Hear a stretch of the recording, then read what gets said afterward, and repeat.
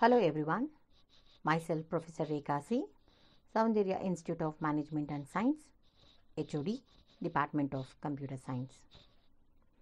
This lecture series is all about the various concepts of Unix shell programming as prescribed prescribed syllabus from Bangalore University for fourth semester BCA. Hence, let's start understanding the 10 concepts of Unix shell programming through this lecture series. Okay, so the chapter is about process management as I discussed. So you will be learning about what is process, parent and child process, process states, how do we create a process, what is the data structure, that is the memory management involved in process, what is context switching, is how do you switch a process from a user mode to the kernel mode and kernel mode to the user mode, different types of process, and what are the process related commands, how do you kill a process and how do you schedule a process. So this uh, particular chapter is more on theoretical and hence um, the maximum questions that you can expect from this is 2 marks obviously in part A and 5 marks 2 questions that is 10 marks. So totally 12 marks you can expect. So most of the question paper has a process management as a main question. Hence this is one of the important chapter for your Bangalore University exams. Now let's move on to the topic. What is a process? So whenever i say a process it is nothing but a task. Task is nothing but a command that we give for a operating system to run so the command we cannot directly write it. But what we do we we write a command through a command prompt. So command prompt takes that commands it analyzes what is the task of that particular command and runs the program. This analysis is nothing but a replication that it the process is going to do at that particular time. Which process? The process is nothing but the shell what we are using. You all know that in unix we make use of shell whether it is a Korn shell or a shell or a bash shell. So in our curriculum, we are learning on a bash shell. So whenever I issue a command, let us say ls, which is a listing, the bash shell will understand that I am supposed to do a, a listing of the programs, which is called as the instance of running a program. Hence here, process is an instance of running a program, which consists of all the services. That means what we are supposed to do resources. That means where your command is stored so that it is utilized and it gets executed. So for example as i told you when i issue a command it starts the process and runs the command and give us the output. So when it gives the output every process what you run there will be a unique id which is called as a process id and this id is of five digit number. And also at any point of time, this ID will be not duplicated. For example, if I give ls command in my system, say system number A, the process ID, let us say 121. If your friend has given the same command in another system, then the process ID will be different. So don't ever think that the process of the same command will have same ID. It differs from one ID to another ID. But the process of the same system having a repetitive process will have same ID. For example, ls I gave in system A. After some time again if I give ls, the same process ID will be displayed. Hence, the process will not be changed at the same system, but the process will be different from one system to another system. Now, each process will also have a parent process, which is a, a master or a monitoring process, which we call it as a parent ID. So that is the process which being monitored by its supervisor, we call it as a parent ID. And as already mentioned, all these process will be run through a shell command, which is a shell process. And the shell process will be maintained by the variables which are available in path and shell. So path and shell are the two major shell variables where path is a variable which stores where is your command is working and shell is a uh, variable which show which stores the special variables like ps1 ps2 ps3 which we studied in the previous chapters to hold the process id the special variables what we use is dollar symbol double dollar symbol for example if i give a command echo double dollar then i will get what is my current process that means to run echo what process ID I have used. So that ID I will get. So 291 is my process ID which I'm running currently on the shell prompt. Okay. Next, what are the different types of process? There are four different types of process that we have to understand. The first one is foreground process. Foreground means what? In the front. In the front in the nothing but a user related command. So if a user gives a command and if it is running, the user is waiting that command to execute. Such kind of execution which happens at the front of your screen and which is handled by the user, we call it as a foreground process. So foreground process, you have to wait till the process gets executed. So the, hence it takes lot of time. Whereas when we go to a background process, there are certain commands which do not require user intervention. That means you don't require any inputs from the user. So those process we call it as a background process. A very good example that we know is, see now I have kept my system idle. Now what my system is doing?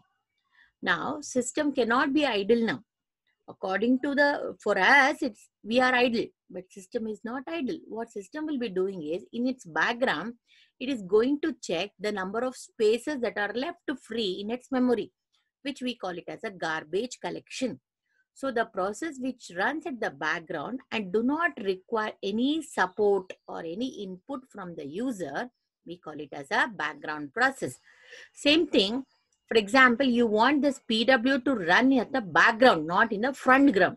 So in that case, you have to give PW and ampersand where ampersand stands for a background processing. That means the PW should work in the background, not at the front ground.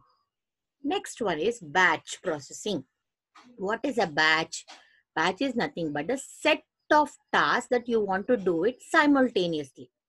For example, let us say I want to display the total number of memories that are available in my system.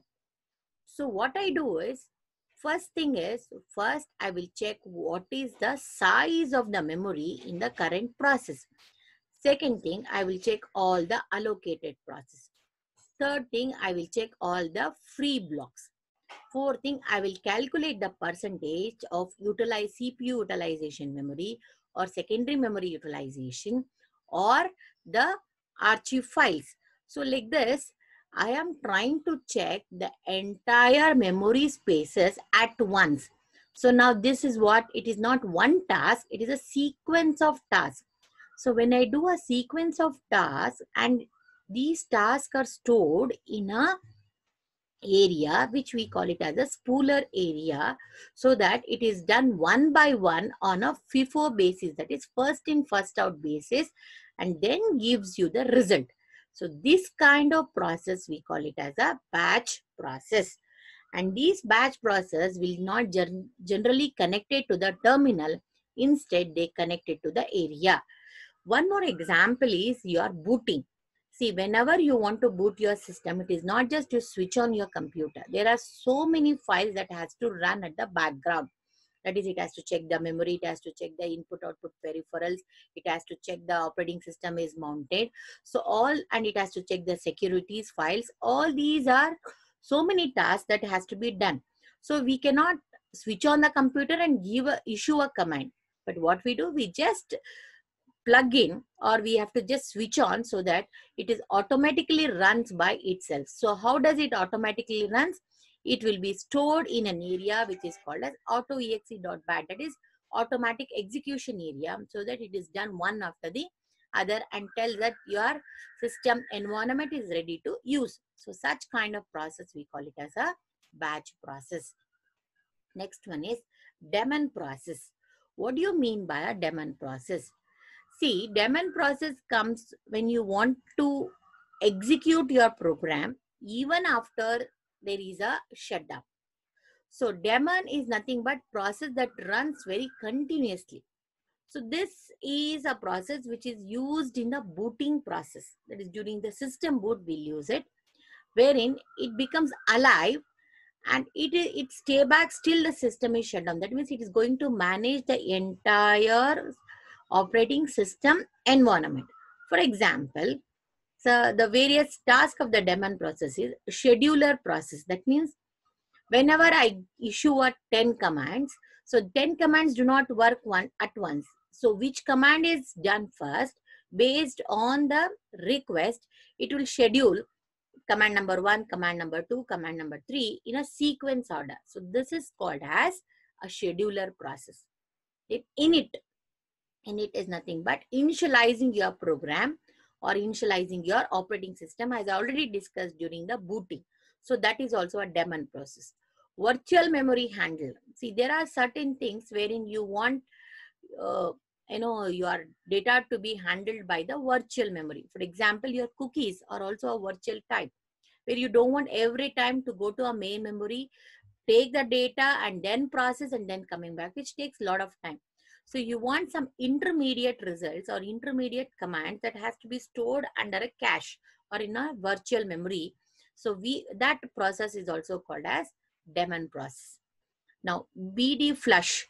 So BD flush is nothing but whenever you issue a command, your command is by default will be stored in a in a temporary memory, which I already told you, a cache.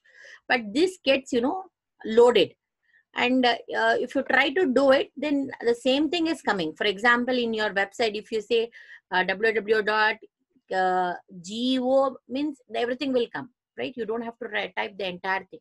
So that means the data is already the since the frequency of using the same kind data is already available and as soon as you type instead of going to main memory searching for the url and then displaying it directly displays as it is stored in cookies.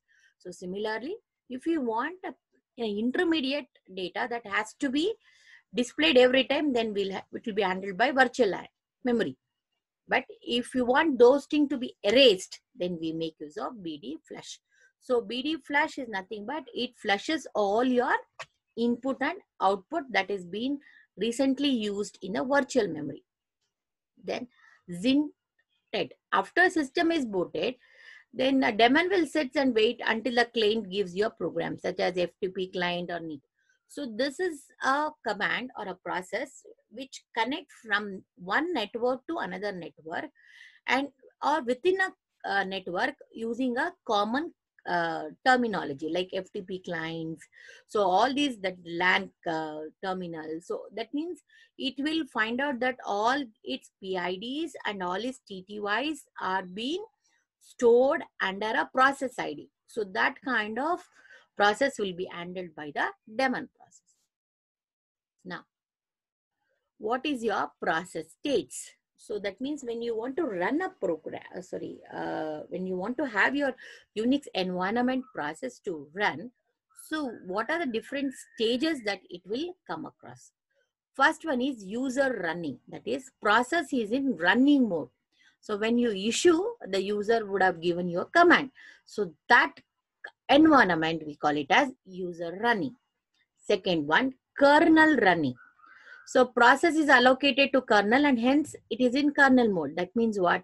So once a user gives a command, then it will be accepted by the kernel and kernel checks the process and he starts doing. So that is, see from user to kernel. Then from kernel to ready, ready to run in memory. That means once a kernel process the process and it will make them the process to be stored in the main memory. And it's still not executed but it will be still in the memory and it will be ready for execution. That is the third step. Fourth asleep in memory. So process is sleeping but resides in main memory. That means one it is stored in the memory but it is, it is the still not started is in a running mode. Next fifth So fifth is, so once it has gone, so it will come to the swapping. That means once memory is released, then it will start running the program. So process is ready to run and it will swap into the main memory so that it allows the kernel to schedule for the execution. Next, sleep swap. So this is a process wherein uh, the process is in the secondary memory and make a space and make the space for execution of other process. So it may resumes only a task is fulfilled. That means once you give a task for a running, then it will wake up and it will perform its task. And once task is completed, it will release that memory. Next, preempted. Preempted means on ongoing process, if uh, while the first process is moving from kernel to user mode, then it will allow a space.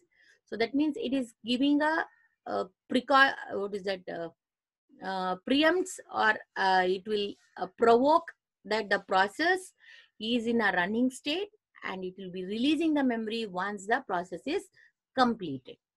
Then the next one is A, that is created. That means if the enough, uh, it is, suppose if you want to start a new process, then we go for an eighth, which is called as a newly created, but it is not at the running state. So we, it is a next stage where you are going to start the process. And this process will be created using a command called fork. Next, last one is zombie. So this is a very important question, which is even for a two marks. So zombie is nothing but it's a last stage of your process wherein zombie has completed the execution. That means it has done with all the uh, commands that has been given in the process.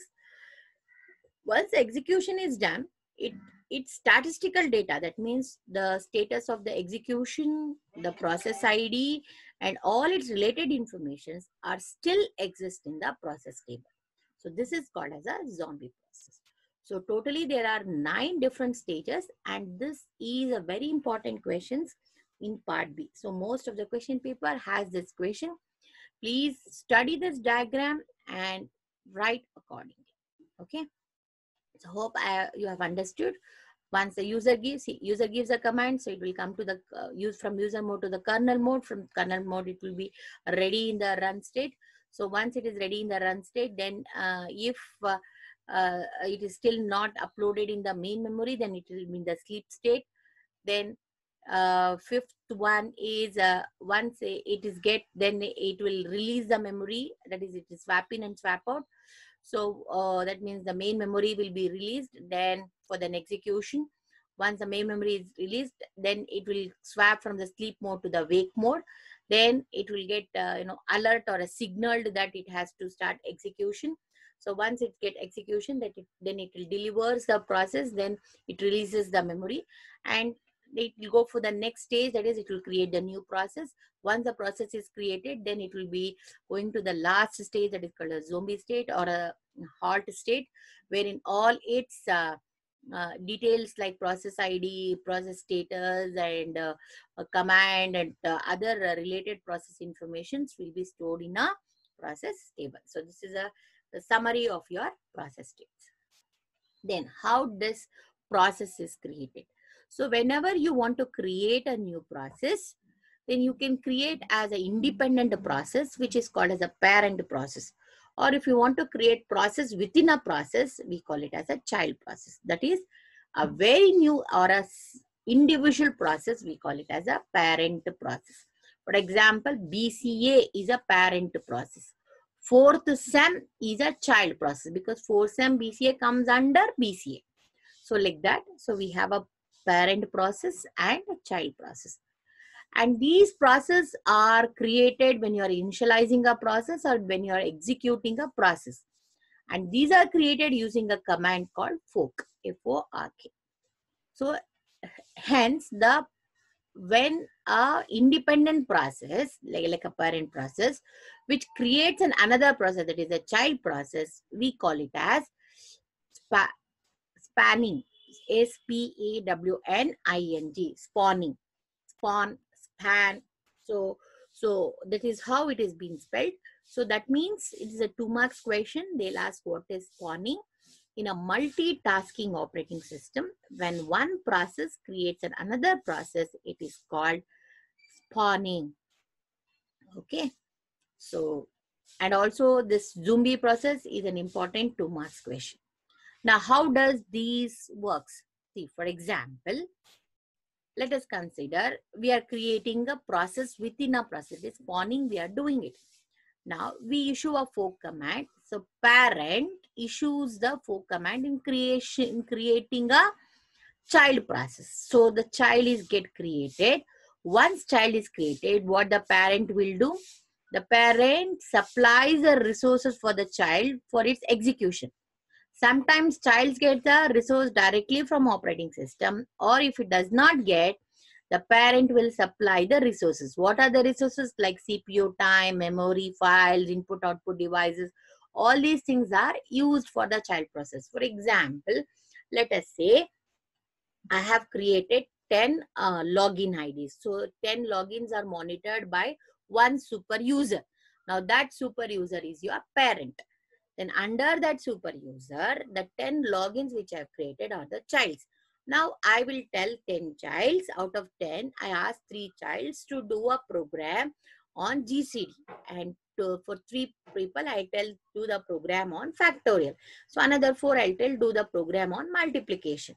Now how many uh, tasks I have given? I have given a 3 tasks for 10 users. Now, these users, when they are doing, they have to make use of uh, files, correct? So they have to make use of all the inbuilt functions and they have to make use of input output devices to do the program or to do the task. So let us say the multiplication program, it seems to be simple, the all four does it. But the parent will not resume for the next task. The parent will wait because the other six people who are doing GCD and factorial, they're taking some time because GCD and factorials has little more, let us say, uh, has a complex uh, programming structure as compared to the multiplication table. So, so now what that parent does? Parents has to wait till the child gets executed. So that is how the process is created. Now parent creates a process, 10 process, and the childs are executing. So parents wait till childs are executing. Once it is wait, once the child finish, the child executes, then the parent resumes again and it will yield create the next set of process. So this is how the process execution happens. So hence, in summary or in nutshell, what we can tell is a process when we are creating, it performs majorly three different operations. One is forking, the other one is overlaying and execution, and the third one is waiting. When I say forking, forking is nothing but a process which is created because of because an existing process creates an exact copy of itself. That is fork is a command which used to create a child process. When we are creating a child process it will create the process with the same set of characteristics uh, that is we call it as an environment as that of parent. So this procedure is called as forking. So when you see this uh, c command when I say PID is equal to fork, that means when you're creating for very first time, then you're creating fork command for parent. Again, if you want to create for a child, then it is executed twice. So one fork is for parent, one fork is for child. So the second thing is, as I told, once a child process is created, the child has to make use of environment variables and its arguments for the execution. So he will run the program and he will try to complete his task. So when, when he completes his task, so this process we call it as execution. This is a stage wherein child process will perform the task assigned by the parent. So and the parent has to wait till the child is executing. Hence it is a execution process and parent is waiting for the status sent will be sent by the child that it is completed that is success or unsuccessful. Once it is successful that is all the child parents of the parent of the parent process are done then the child gets exited means to say that the process is complete so wait the variants allow wait on a specific child or notify for stops or other signals. Suppose if there is an any error or anything, then the child says that he wants to exit from the process or he wants to terminate. So all these status will be signaled through a signal command and later it will be exited. So this is the process that is forking, that means creating a process, executing the process, parent is waiting the process and child is exiting from the process. Now, all this process when we are doing, so we need some memory, right? So we have to store this process in one or the other way. So how does the kernel manages its uh, memory management? So the kernel manages this data in three different tables. One is a process table where it is going to store all the process related information such as storage, execution status, file information, etc. The second one is a file table. It is a table where all the file entries are made. That is file attributes, file name, file size, file description, file number. Everything will be maintained in the file table. And last is vnode and inode. As we know that process has the inode, which is the inode table, which maintains all the process related details. These inode references will directing, it is something like your a directive table which directs your storage system and mechanism which directly connects your hardware and software details. So this is how the kernel or the shell will maintain the uh, data structure or maintains the memory management during the process state. Next, see when the kernel is doing, even the user has to give an instruction. When user is going, the kernel has to process. So it is a a switchover between a kernel and a user in a different modes. So hence we call it as context switching. So context switching is a process where a computer will be, if suppose if it is executing in a user mode, then if he wants to go to a kernel mode and do some other process, so the process of switching from one state to another state, we call it as context switching. Hence, the context switching has two major modes. One is kernel mode and user mode.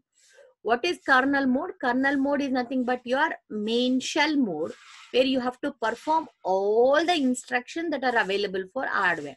Where in user mode, you don't have to do it. You just take whichever is required. So hence it is a subset of instruction. Then kernel has to process all your memory variables, memory management and memory related uh, task. Whereas user he has to refer only the space that is allocated to him. The kernel has a critical part of execution and it, it has to ensure a correct execution to get the right output. Whereas in a user mode application pro, uh, programs like whatever we write a program only that is accountability for the user mode Whereas in the kernel mode, instruction runs very fast. Yes, it has to run because whenever you are running a program given by the user, the first thing is it has to check for its data structure. Second thing, it has to check for its memory management. Third, it has to bring the instruction set and analyze it and gives you the output. So hence the, the speed of the kernel mode should be comparatively fast as compared to the user. And kernel requires lot of effort and overheads in the performance whereas user do not. So user have a limited effort. So kernel can easily implement and it can be trapped mechanism because all the instructions are being controlled by the kernel. Whereas user do not have such control but it has a limited effort so hence all your input outputs uh, instructions that you give are managed by the kernel whereas your request or uh, your commands which you give will be given through the user mode which we call it as an application program. Now, what are some of the commands that we can use using a process at the command prompt? So one major uh, question is on PS command. So PS is nothing but a process command which is used to display the attributes of the process. That means it will tell what are your process. Mainly it will give you information about your process ID, your terminal ID, time taken, what command you have used. Along with that, you also have the other features like how much uh, CPU it has, how much memory it has, how much virtual memory size, what is your uh, resource logins, uh, your status, when you have started, who all your, what are your user names or your login names, everything will be given by the process. For example, when I say PS UX, UX is a user. So under this UX, what all the users that are running this process gets listed. Suppose you know the particular process, then you can give PID. So PID is your process ID number. For example, PS1268 if you give, where 1268 is your process ID, then you will get information only about that. That is your PID, what is your terminal name, when it is started, the time and the command. So all these one, two, three, four. So everything gets displayed here. Okay. So along with that, we can also use many options like minus F where it, you will get even your parent PID. Minus C, along with the process uh, users list, you also get the system processing list. Then minus U, you will get only user process list if you want or minus A, all the process of all the users, but do not display the system process. Then that is system process means predefined process then minus t means process running on a particular terminal. So you suppose say I'm the server and I want to manage, uh, I am managing around 100 terminals, but I want the uh, data only of 15 terminals, then I can give only that 15 terminals ID, then I'll get only the terminals information. Like I did here, PSPID. Okay. Now, the next command is nohup. No hop is nothing but no hanging up. See, sometimes what happens is I will be doing some operations and I'll give some command, but uh, immediately I don't log out. Uh, I just come out uh, just like that, and uh, I don't know that the command is executed or not. Now, if you want your command to be executed even after you have logged out, then you have to give nohup. So nohup is nothing but no hanging up. That means whenever that means uh, when you prefix the command so whenever you are trying to give a command, if you prefix with nohup, that means this command will execute even after you're logged out. See, I've given an example here. The sort command will sort the file of emp.ls. This is not uh, source and destination. This is destination comma source. That is your source file is emp.lst. So it will sort emp.lst and store the sorted value in emp sort.lst as the background process. As I already told you, ampersand stands for a background process. Even after the students have, I'm sorry, when the uh, user has logged out. So that means, so this process is being executed at the back end even after logged out. Okay, that is called nohup. Then what is a top command? See, top command, the word says top. That is all top priorities information. That is all major inf information like when the when the user is uh, when is his uptime that is when is his login time when is his log out time what is the load average time he has taken how many processes are running how many uh, processes are in sleeping mode how many processes are in the end state mode that is a zombie mode what is the percentage in terms of CPU utilization, in terms of memory swapping, in terms of total free memory, in terms of buffers, cache, every information. This is something like an admin who is keeping track of your memory management. We make use of top command. So when I use a top command, along with that, we will get information about all the process ID, all the users, processor terminals, virtual terminals, then the shared memory, CPU utilization, memory utilization, time, and what all the commands that I've used, everything get displayed. So top command displays the information about all the running process on your operating system Unix. Okay. Next, nice command. See, nice command is nothing but suppose if you have given around 20 to 25 commands and your command is on 18th position. I don't want that I have to wait for 1 to 17th process to complete. I want it to be something I wanted to give a priority to it. So now to assign a priority to my command so that that command, even though after executing first command, if my 18th command, if I give priority as 2, then immediately jumps to the 18th command and runs the program. So that means called niceness. That means if you're, you're going to set the priority to the highest level, which has a poor performances, then we call it as a nice command. For example, nice minus n19 banshee is one of the command which or a program which you want to learn.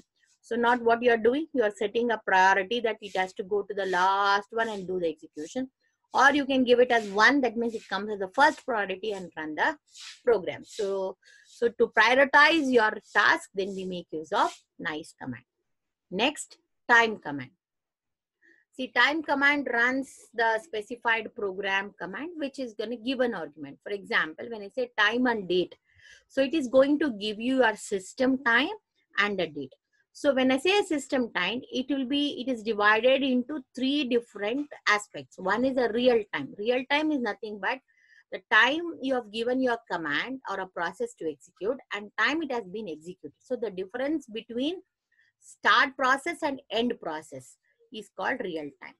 User time. So the time taken by the user to execute the program and the time taken by the process to execute that particular program, we call it as a user time.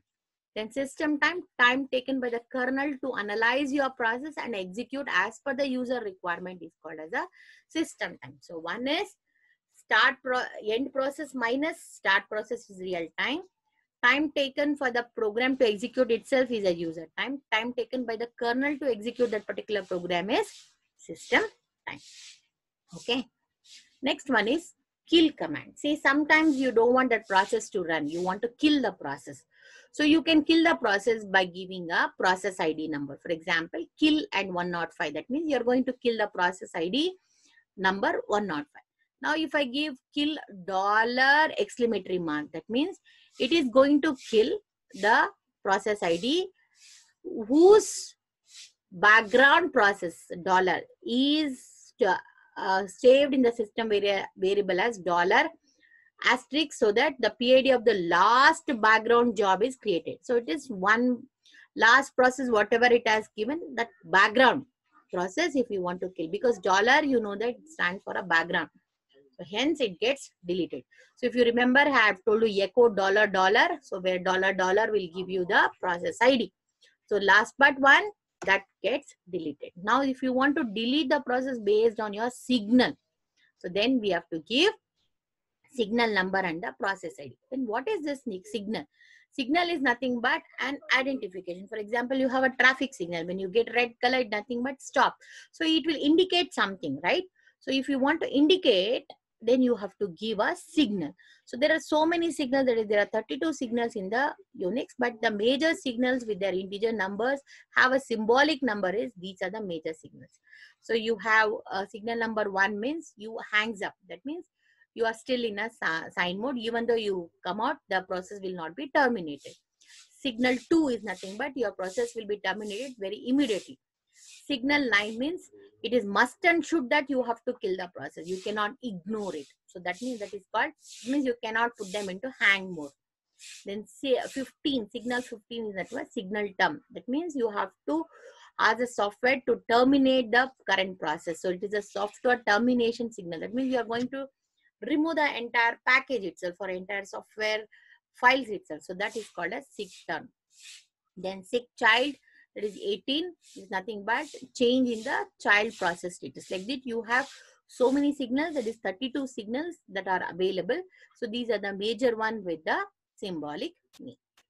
So this is also a question asked for what is signaling and what are the major so you have to write this as well as the table. And even the kill command is a two marks question.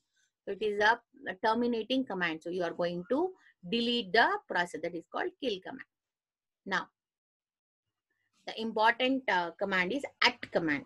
So at command means see suppose i want to today what i want i want your uh, all your uh, files to be displayed in your google class and i don't want to do it early in the morning sitting and doing. What i do in previous night only i will set up all the tasks that i want to do and i'll schedule the time and i'll say okay and i'll sleep off.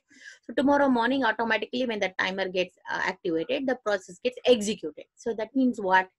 You're going to set the timer for which process has to run at what period of time? That is at a later date. So that can be done through an at command. And these at command cannot be done by all the users. It can be done only by the system administrator. Again at command can be done only when the administrator has a privilege of at allow at allow so that means if he has an at allow permission only then that that file gets uh, uh, you know executed at that particular time Otherwise, if the file is set to at deny, that means you're restricting. You cannot do that process. So for example, let us say dollar at 17.30 redirect to program1.sh. This means 17.30 means 12 plus 5 that is uh, 17 that is 5:30 p.m. today the script file what is your file name program1.h will be executed. That means you are telling that this program should execute at this point, point of time. So that means you are going to schedule when it has to do it. Or suppose if i give at now plus 10 minutes that means now you take a current time. After 10 minutes you have to execute. So you can use this. So you can also make use of the keywords like this. See now noon midnight today tomorrow so like this you can make use of any number of keywords in executing the at command at command also has many options like minus f that is which file that you want to run minus m that means you can send a mail along with that because you know that there is a communication uh, command called a mail command. So where you can use it. Then minus L list the command that has been set to run. Then minus R cancel the command that you have set in the past. So these are the at command. Then batch command. So what is the batch command? Batch command execute the specified job when the load is relatively low. It means if you want to do a set of process, that time you make use of batch command. So batch command executes your job when the process is when the set of process from the operating system is relative. That means since it cannot execute only one command, it has to execute set. So this will execute as a set. Example, batch sort emp.dat redirected is a pipe filter command, grep Bangalore and direct to add dot out file. What does it mean? It will take a file emp.dat. It sorts the file. grep Bangalore means it search for a string called Bangalore. And whatever output you get, that you will save it in add.out. So this is done. This command is executed when, not as soon as you do it, but it will execute whenever the operating system do not uh, gets more requests to process. That means the request level of the operating system is low. That time the operating system is comparatively free. So that time it will execute this batch command. Okay. Now the last topic of this chapter is cron daemon. This is also a five marks question. So cron daemon is nothing but it is a periodic command scheduler. It is also something like your time command where you are going to schedule that when the program or when you when your task has to be run at a certain time and date so this is driven by a table called cron table where the cron table has a six fields like minute so the minute ranges from 0 to 59 hour 0 to 23 hours then day of the month 1 to 31 month of the year 1 to 12 day of the week and which file you want to run an example, see I have given here 001 15 1 sort employee.lst.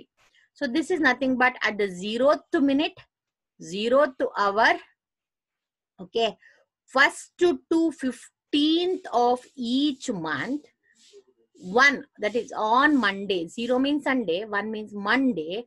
I need to execute the file that is i need to sort the file emp employee.lst that means see, as soon as the employee starts you know updating the data the dynamic you want it to be sorted accordingly. So instead of going and sorting every 15 days what i'll do i'll issue this command. So that this command will execute on the zeroth minute zeroth hour mean on midnight every first day of the month and every 15th that is in the middle of the 15th of the month on monday it will execute this program. So this is how you can manage. See all these are administrative work. Hence um, unix is a very powerful uh, program because we have lot of administrative and security measure commands where we can control without the intervention of the user